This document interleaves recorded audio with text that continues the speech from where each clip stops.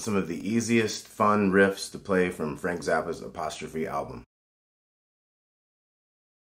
Now, Frank Zappa, of course, is known for super complicated, super difficult stuff, super fast. These are kind of the easier, fun chord things, few little riffs here and there from that album. You'll have even way more fun listening to that album if you can play some of these easy riffs. So let's start out with the first song from the album, Don't Eat the Yellow Snow. What's happening here? Here goes kind of the basic riff.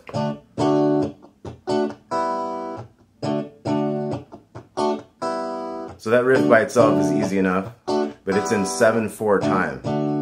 So if you count that, 1, 2, 3, 4, 5, 6, 7, 1, 2, 3, 4, 5, 6, 7, 1, 2, 3, 4, 5, 6, 7. And the way the accent goes, up, up, 1, 2, 3, 4, and, and, 7, 1,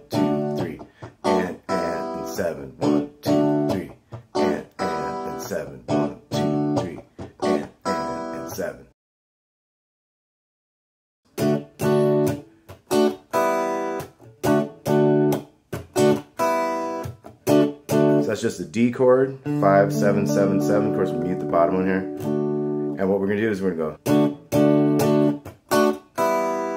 one, two, three. And we're just hitting those sevens on that one.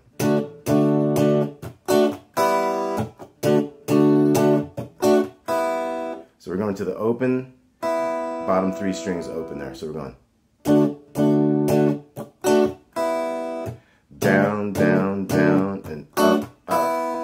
Those are the up strokes of those beats. So one, two, three, four, and five, and one, two, three, four, and and one, two, three, four, and and seven. So at the end of that, you can count that seven. One, two, three, four, and and seven. One, two, three, six, seven. One, two, three, four, and and six, seven. So you can count the six and the seven if you prefer that. One, two, seven. One, two, three, four, and, six, seven. Now the next riff is going to go.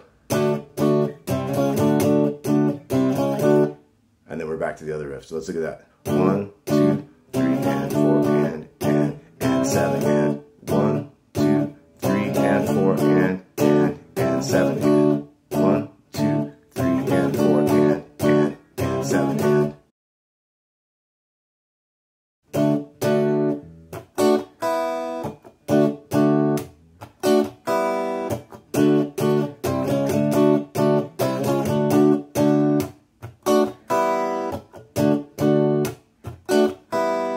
Okay, we got one more riff, but I got to drop down to drop D tuning to get that next riff.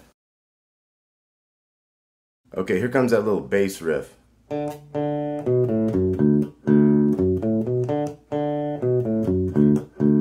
bassy guitar riff, I should say, you know. So we got the open D, open, open, and then the A string, 2 O, and then we got the 4 O, we're in drop D tuning, so I dropped that E string down to a D. 4, open, open, and then the pickup notes. That's 4, open, 2, and we're back.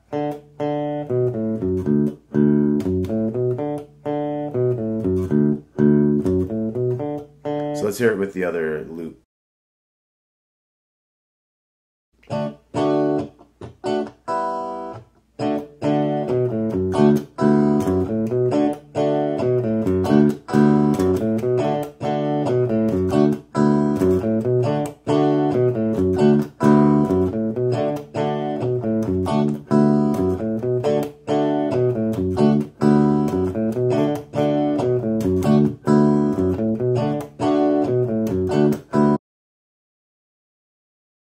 Right, so Nanook Rubs It is going to be the next one on this list here of kind of easy riffs we can do. So we're going to start out with the A string, 9876. And then we got an E flat or D sharp minor 7. So, and it's in 6-8, so it's going to be like 1, 2, 3, 4, 5, 6, 1, 2, 3, 4. And that's a B7. 1, 2, 3, 4, 5, 6. So that's our main chords two, three. Think it's sets of threes. One, two, three, one, two, three, one, two, three, one, two. count you on that. One, two, three, four, five, six. One, two, three, four, five, six. One, two, three, four, five, six.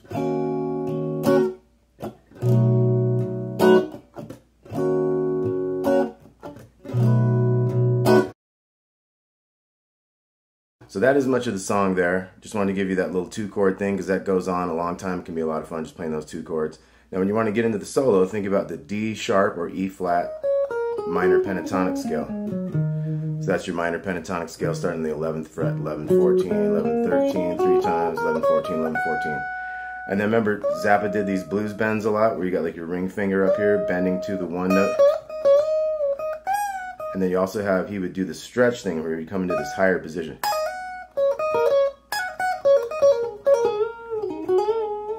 Got those bend things. Okay, so that's just to get you kind of started in the solo scale you would need for that two chord progression. The E flat minor 7 to the B7 or D sharp minor 7.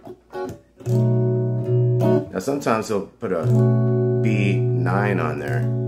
So that's a 7 and muted A and then 7 6 7. And then there's that one little riff.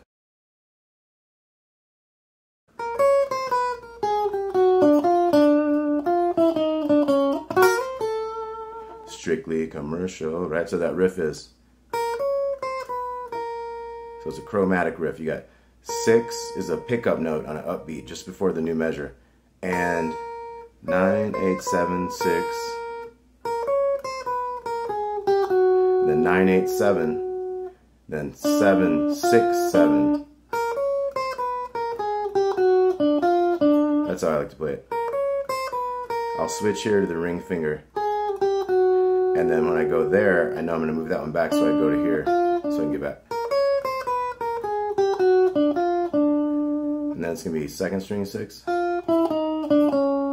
got a chromatic thing. Six, nine, eight, seven, six. Now here we're to rake this little minor shape. So that was like eight, seven, and six, and you rake that. So you go quickly up the thing. Slide to the eight, and we got a 10 on the second string.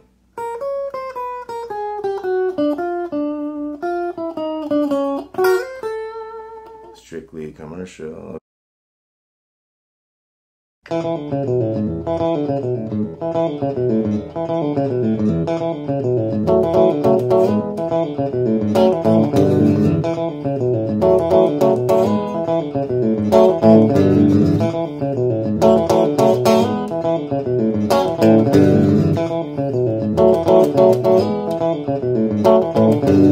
So now we're getting into Father Oblivion. Let's take a look at this first riff.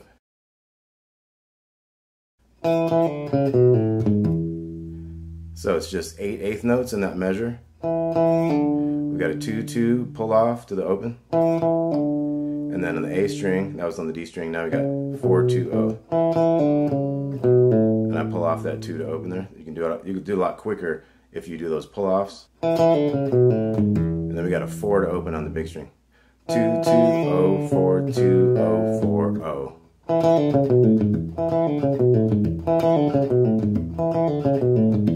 Then the next riff is going to be you got four and two. So that's four and two, four in the fourth string, two in the third string. And you wait until the uh of the two. So it's one E and a two E and a. That's when you come in one E and a two E and a, one E and a two E and a. And that part is like just after the four and two, you have A power chord, open and two, and a G power chord. I just like to use those fingers myself so I can stay in position there. One E and a two E and a, one E and a two E and a, one E and a two E and a, one E and a two E and a. So then there's a lower riff that starts out like this. And then it has that riff in it. So we got O, O, 3, 4. And that's the D string, 2, 2, O.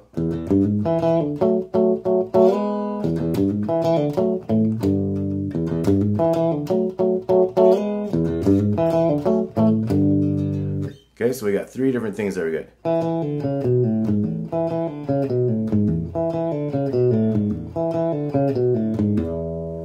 You all want to try that? Let's see. We'll do it nice and slow. Three and four and.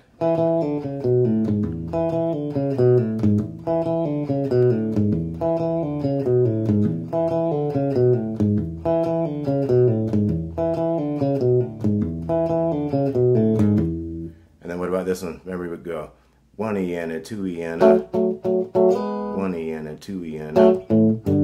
Let's take that slow. Two, three, four. One E and a two E and a one E and a two E and a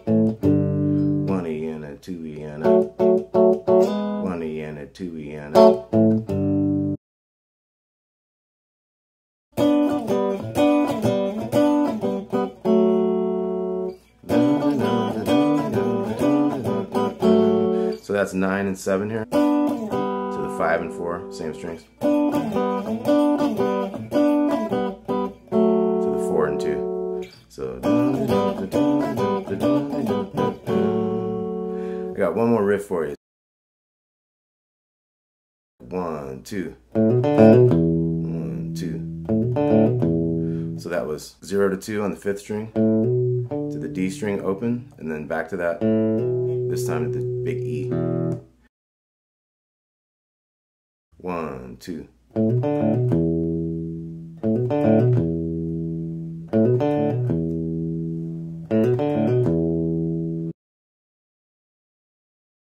All right, here goes Cosmik Debris. This one is in C minor pentatonic scale for the most part. We're gonna have this riff.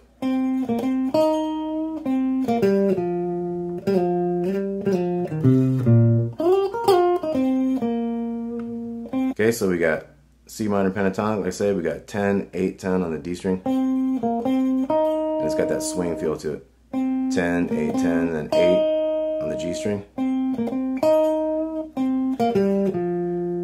And that's 10, 8, 10, 8 on the A string. So then we're gonna go quick slide. Okay, that's your basic thing. Now you can do the riff here in the same octave if you want. Could jump up. That could have been an overdubbed guitar. Who knows? He could have jumped up there. So that whole intro is.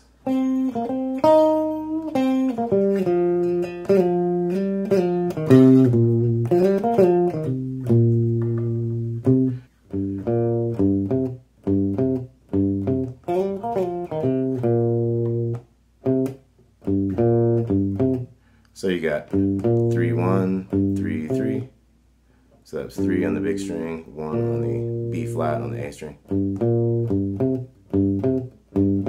And then we just got that same pentatonic minor. So five on the D slide up. That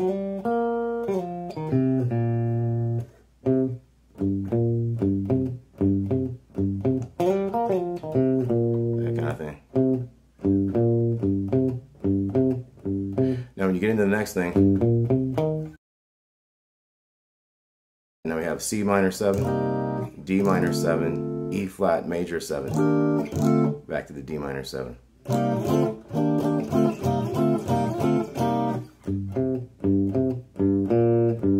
Then we got this little riff. So that's a little fun one. That's 11 and 11 to the 10 on the third string to the 11 to the 12 on the little string. Back to the 10, and then 10, 10, 8, 8. And that's both on the third first and third first. So you do it mostly with your first finger there. You could go. At that point, a lot of these things, these double stop things, end up happening with these two fingers. So if you like that better, then you'll be about.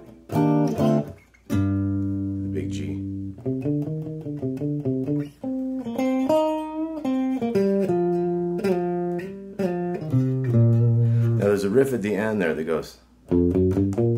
That's one, two, three, one, one.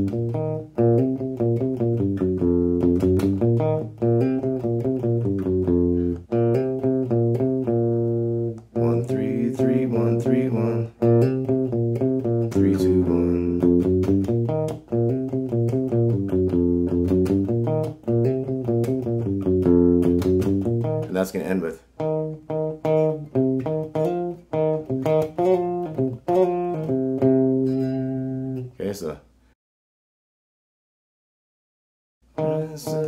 is just gone up and your old lady's just gone down.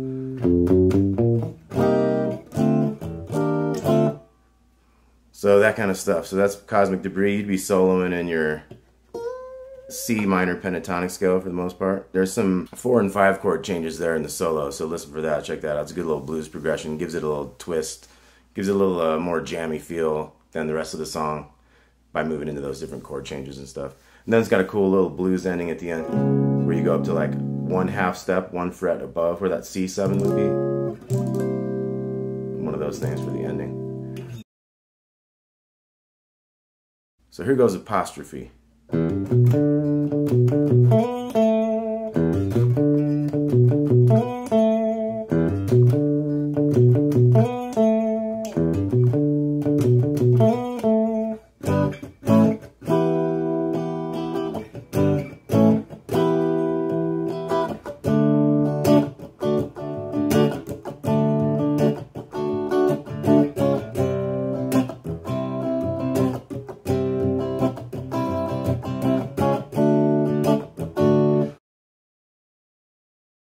So here goes the first riff. 037 on the big string. You can hammer onto that 3. To the D note here, 5th fret, A string. And then 5, 7, 5, 7. I use my pinky down there for that. That's the D string going to quick to 9 from the 7 and back. So 3, 7, 5,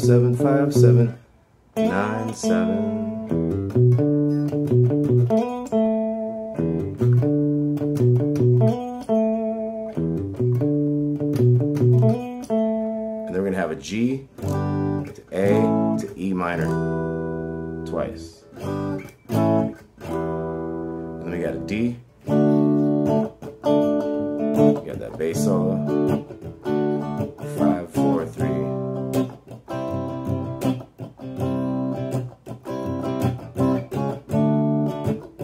So it just does that a lot, and then that's going to end with like a B chord down here. And that's like in your B minor pentatonic, you could do those double nines there on the second and third string.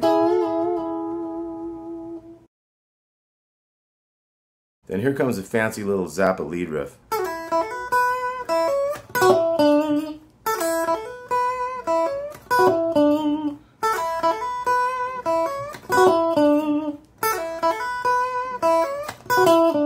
So let's look at that. That's 5-2-0, double pull off, double hammer on 057. One more 7. And then go to the open. Then we bend this 9 up. And we rake down 7797. All right,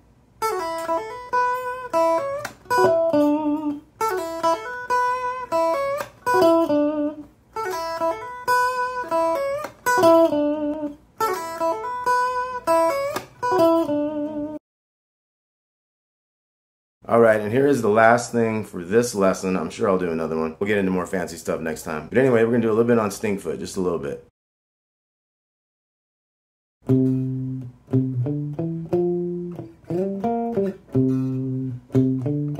So basically you're coming from the C down to an F, almost in a doo-wop kind of thing. This is another like 6, 8, 12, 8 thing, sets, and, sets of threes. One, two, three, one, two, three, one, two, three, one, two, three, one, two, three. So I'm going eight, eight, five, seven, eight, and then that slide into the 10, eight, and back to 10. C to the F, C to the F. So when he gets into the solo, you could practice playing like the C to the F and stuff, but then when it gets to the solo, you can do your you know, you got your C minor pentatonic there. So give that a shot. And then I got one more thing for the very end of this.